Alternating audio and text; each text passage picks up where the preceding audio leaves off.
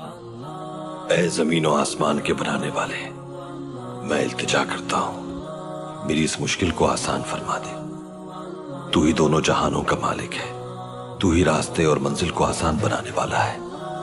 इस मुश्किल को आसानी में बदल दे। मुझे किसी तख्त ताज की तमन्ना नहीं है।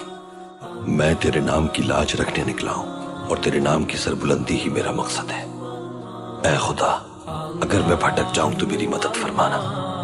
ऐ मेरे परवरदिगार, मुझे भटके हुए लोगों के रास्ते से बचा और दुनिया के शर और आफतों से महफूज फरमा। शैतान की पैरवी से बचा और जिल्लत की ज़िंदगी से मेरी हिफाजत फरमा।